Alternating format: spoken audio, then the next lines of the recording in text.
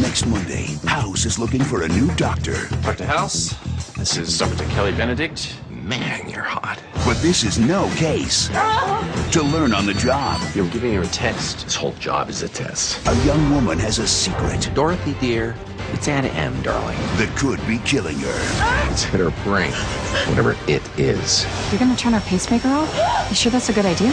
Nope. It might be. All new House next Monday on Fox.